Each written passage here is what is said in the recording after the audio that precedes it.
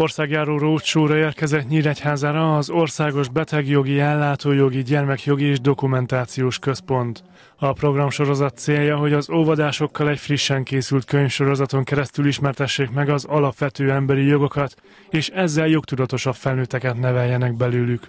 A szervezet szerint erre leginkább a meséken keresztül van lehetőség. A mesevilága az, ami a gyerekekhez igazán közel áll. Ezek a történetek úgy lettek megfogalmazva, hogy a gyerekek számára érthető módon a saját élményvilágukhoz kapcsolódó történeteken keresztül mutatjuk be azokat az alapvető emberi jogokat, amik az életükre a legjellemzőbb. Az OBDK valamennyi megyeszékhelyre ellátogat, és az összes óvoda számára eljuttat két darab ingyenes példányt a kötetből. Az óvodai dolgozókat útmutatókkal és pedagógiai módszertani anyagokkal segítik, hogy ők is megértsék és könnyebben átadják, a meséken túl miről is szólnak a történetek azokról az alapvető dolgok, jogokról, amiket mi nagyon fontosnak tartottunk, mint az egymás iránti tisztelet, az emberi méltóság, a bántalmazás tilalma, az egészséges életmódhoz való jog, de beszélünk a tulajdonjogról, és ami, ami kiemelten fontos az az, a bántalmazás tilalma, hogy ma Magyarországon egyetlen egy gyereket senki nem üthet meg, semmilyen formában nem lehet bántalmazni, és ez a szülőkre is vonatkozik,